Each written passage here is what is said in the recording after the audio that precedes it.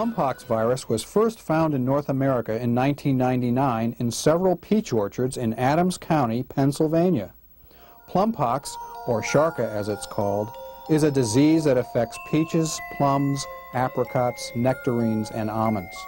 The virus causes the fruit to develop blotches, which lowers their value. The disease doesn't kill the tree, but it eventually stops producing any fruit whatsoever. But long before this happens, the infected tree already poses a great danger to other nearby trees because it is a disease reservoir, harboring the virus which can be more readily spread. Plumpox virus is spread from tree to tree by tiny insects called aphids.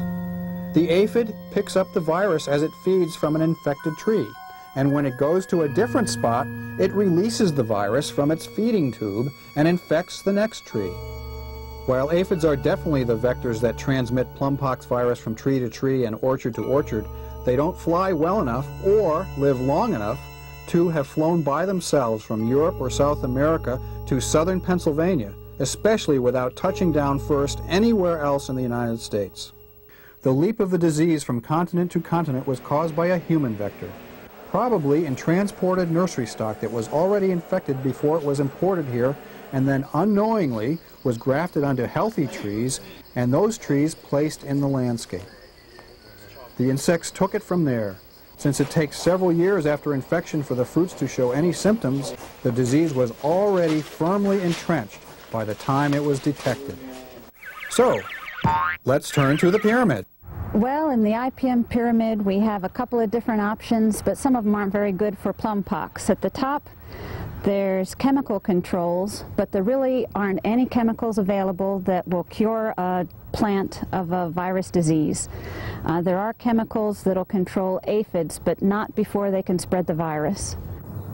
We don't really have the, a good option for chemical control with plumpox virus. There's no chemical that will control virus diseases.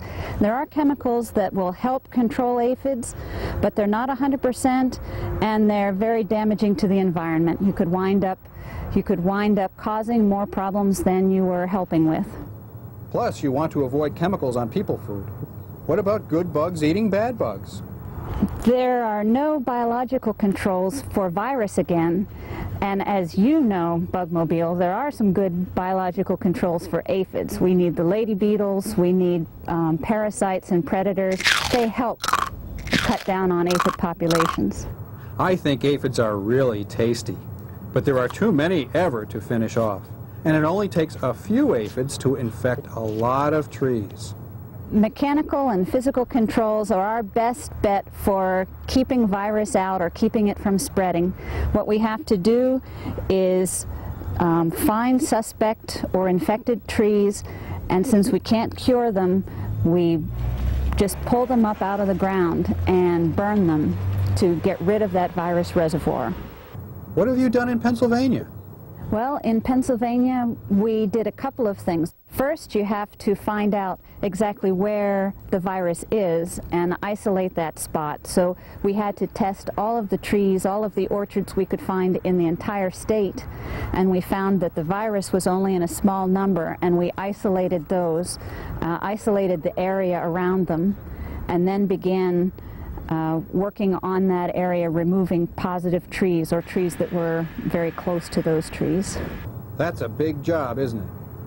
A really sad, a really big and, and terrible job, really. We had, um, oh, probably 50 people working full time going across the state to find and test trees. Um, we had uh, a large number of trees that had to be removed, and that was the grower's responsibility um, a team visits an orchard and they take leaf samples.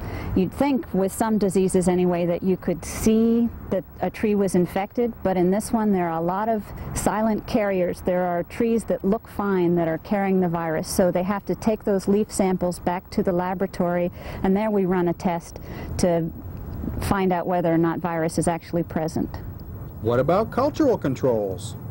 Cultural controls, the uh, one promising area that's being worked on really hard by a lot of researchers right now is developing resistant varieties of peaches, plums, nectarines. Uh, and that's being done by a number of different methods. All over the world they're trying that. Cool, Ruth. Thanks a lot. Well, I got to get cleaned up and head for the lake. Don't let the bugs bug you. Wow, that's a really sad story about those peach trees. Brr, I think I'll devote myself to clean living. Who knows? Maybe it'll all pay off. And someday, I'll even meet my all-time favorite movie star hero.